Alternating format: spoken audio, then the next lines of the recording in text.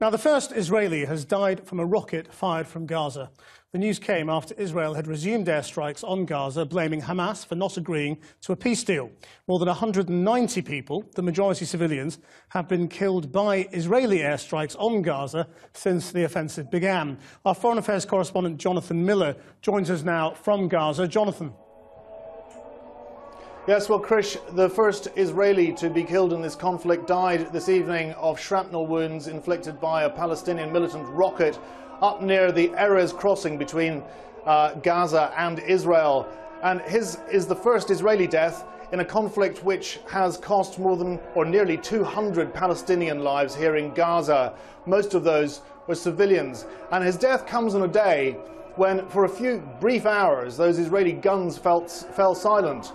There were some hopes, albeit rather slim, of this proposed ceasefire, but they fell flat. Basically, although Israel accepted the terms, Hamas did not. Hamas is furious. They say their leaders weren't even consulted. They say that it was proposed by Egypt, which hates Hamas. Basically, Hamas is an offshoot of the Muslim Brotherhood. Hamas wants concessions. They want to see an end to this devastating seven year siege of Gaza. They want to see some of their prisoners freed from Israeli jails.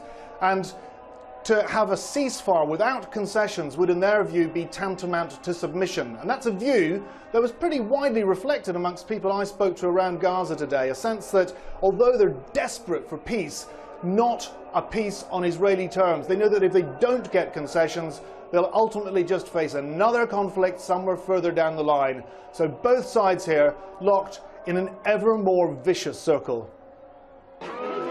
Sudden and violent death brings with it a terrible depth of distress. The honour of martyrdom, cold comfort for a family in Rafah, one a four-year-old girl called Zahra.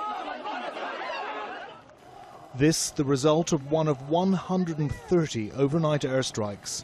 Gaza awoke to news of a possible ceasefire that was doomed to die a violent, sudden death too.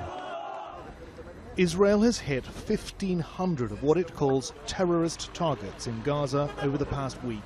These have now killed nearly 200 people and wounded 1,400. Just before 9 a.m., Israel announced that it would accept a ceasefire proposal brokered in Cairo, but not before it had struck a final few targets. At 5.30 this morning, an Israeli drone fired two rockets into this building. Those were the warning shots. Then an F-16 came in with a missile. Incredibly, no one was killed. These blocks of flats around here were built with foreign aid to house those who'd lost their homes in past wars.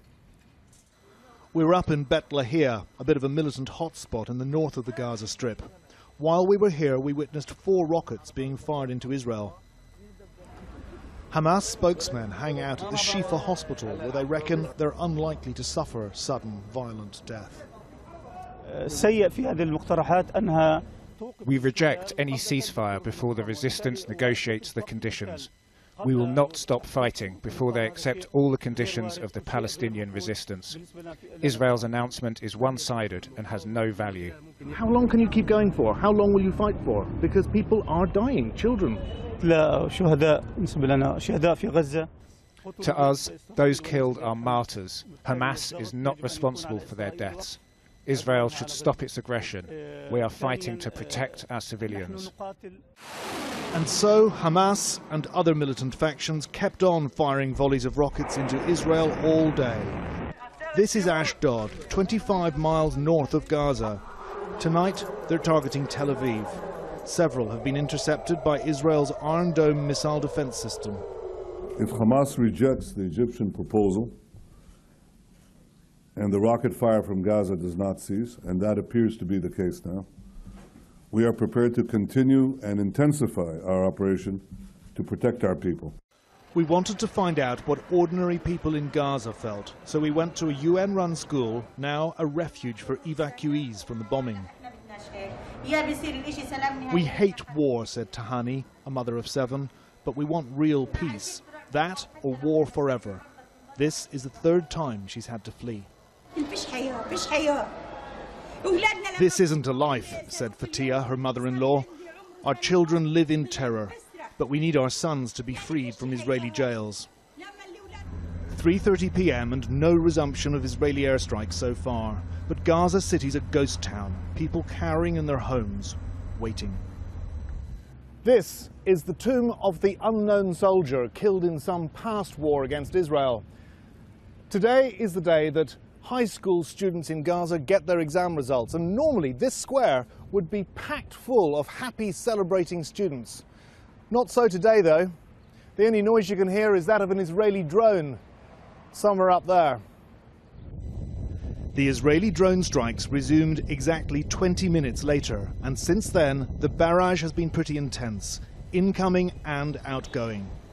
Tonight, news of the first Israeli death. Neither side wants a prolonged conflict, but any vain hopes that this might have ended today have been summarily shattered. Jonathan Miller, Channel 4 News, Gaza City.